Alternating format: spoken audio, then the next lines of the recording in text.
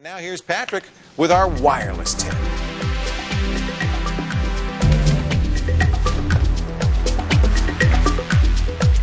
Wow, Larry recently emailed us asking my wife and I used to have accounts with Cricket. Now I've got two paperweights, two useless cell phones. Is it possible to have the Nokia phones reprogrammed to use with another phone company?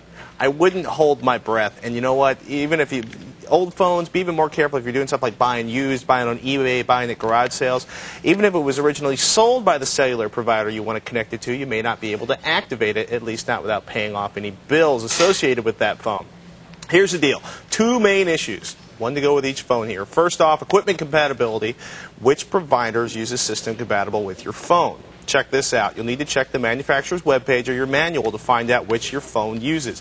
Verizon and Sprint use CDMA, Cingular, and AT&T Wireless use TDMA. VoiceStream and T-Mobile use GSM. Say you figured out, well, I've got a Sprint, I've got a Nokia phone. It supports CDMA. Can I have Sprint activated or Verizon?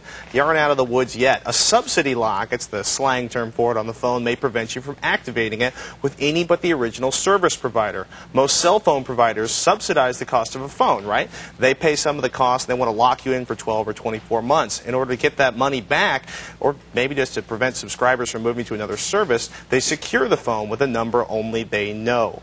You won't be able to program in a new mobile telephone number number without it. Yeah, it's a problem. CDMA phones typically refer to this code as the master subsidy lock. TDMA phones call it a SOC lock, while GSM phones, we understand, call it a SIM lock, which won't prevent you from swapping in a SIM card from a competing provider.